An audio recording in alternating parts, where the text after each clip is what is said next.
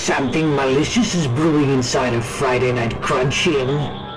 In that it's out now. Go play it now. It's out. I'm telling you to play it now. You will play this as we speak. It's out now. Go play it, you motherfucker. Go play it now.